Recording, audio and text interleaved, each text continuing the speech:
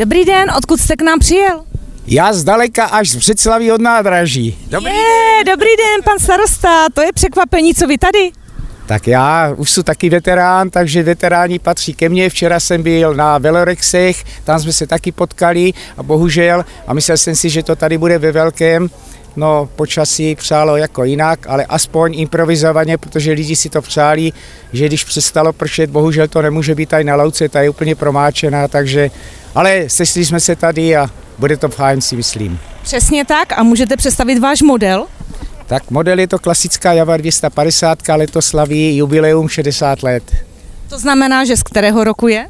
Z roku 62, je mladší než já. Na 115 veteránů se sjelo pod zámkem v Břeclavi. Vyleštěné karoserie, nablízkané disky, ve kterých jste se mohli vidět, nablízkané motory a k tomu i patřičný módní převlek té doby, to vše patří k zálibě ve veteránech. No zálibě, on je to takový mega koníček. Můžete nám představit váš model auta? Jedná se o Mercedes-Benz 190 SL, je z roku 1959, obsah má 1900 kubíků a zajímavostí na těch tomto typu vozidle je, že vlastně byl dostup, že tím se stal dostupným z, kopií závodního vozu Mercedes-Benz 300 eh, SL. A to byl vysloveně závodní vůz a později začali vyrábět eh, dostupný vozidlo pro veřejnost. Jací lidé nebo která společnost si mohla takovéhle auto v tom roce dovolit? No byly to ty bohatší, je to stejně jako dnes, prostě závodní nebo sportovní vozy a chcete-li tak víkendový vůz si nemůže dovolit úplně každý.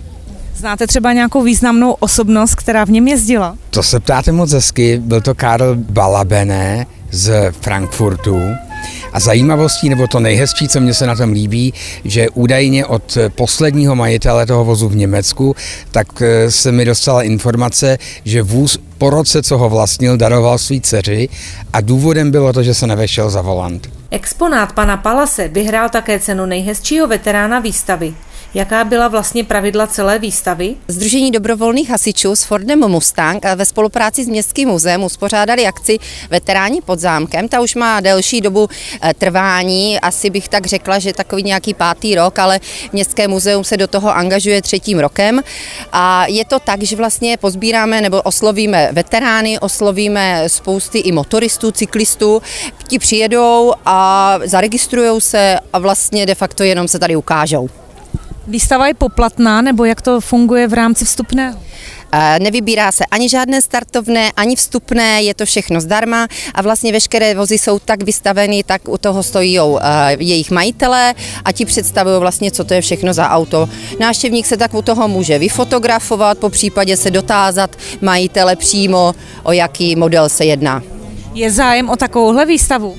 No zájem je veliký, protože původně jsme plánovali to zrušit úplně kvůli počasí, ale nakonec jsme se rozhodli, že to necháme a návštěvnost je. Jaký máte doprovodný program? Doprovodný program máme Melody Gentlemen, což si myslíme, že se k této akci hodí, protože přece jenom některé oldtimery budí tady ten krásný pohodový jazzík. Potom vlastně na konci vylosováváme anketu, kde máme cenu starosty, cenu o nejlepšího veterána, cenu o nejkrásnějšího Mustanga, no a diváci mají diváckou cenu, takže eh, každý, nebo každý vystavující dostane nějakou, nějaký dárek. Jak už jsme se zmínili, veteráni, to je mega koníček, nebo se dá říci i životní styl.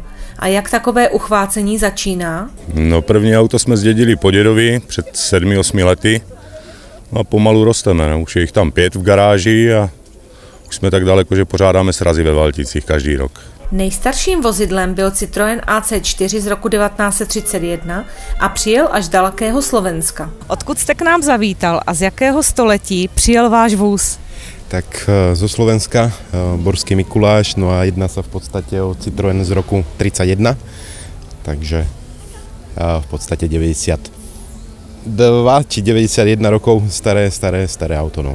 Jak se k němu přišel? Je to součást dědictví nebo jste jej někde pořídil? Ne, začínal som v podstate motorkami a s tým, že sa mi vlastne narodil sa mi malý syn a na motorku vlastne ešte bolo skoro, tak som rozmýšľal, že treba by bolo nejako tak, aby sme mohli tráviť čas spolu, tak, tak som šiel, šiel do auta s tým teda, že tam bola nejaká renovácia, ktorá sa musela dokončiť, No a dneska teda uh, úspěšně už druhým rokom so synom takto brázdíme takéto stretnutia veteránov. Takže auto je i pojízdné, jak náročná je péči o takovéhle auto? No, ono nikdy neznamená, že keď prídem večer domov, že na druhý deň naštartujem.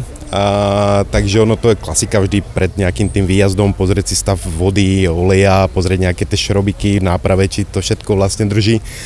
Ale tak viac menej po sezóne vždy sa robí taká nejaká menšia údržba toho auta, či už nejaké proste nejaké defekty, alebo nejaké zatekanie, alebo nejaký e, únik vody, oleja, alebo proste tak, takže vždy, vždy po sezóně sa robí taky, taká, taká väčšia úprava. No. Cenu pana starosty vyhrálo jak jinak než české vozidlo Tatra 75 z roku 1938. Nejhezčím Mustangem byl Mustang Ford. Návrat do minulosti se Břeclavi skutečně vydařil a my jsme rádi, že jsme mohli být u toho a přinést vám alespoň kousek veteránské atmosféry. Vaše regionální televize jich